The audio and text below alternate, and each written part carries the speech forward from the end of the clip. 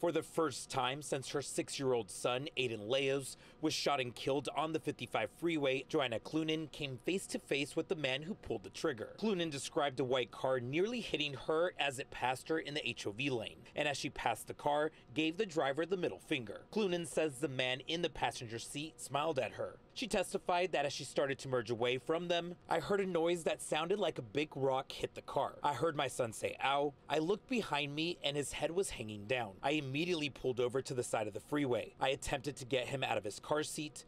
I noticed that he was dying very quickly. During the trial today, a video of Eriz's interrogation after he was arrested was played. The lady got hostile toward us. I don't know why. I have no answer why, but I pulled out my Glock and pulled the trigger and it was gone. When asked why he fired the gun at another car, Eriz said, I don't have an answer because I'm stupid. I didn't think of anything. I didn't think of the consequences or anyone.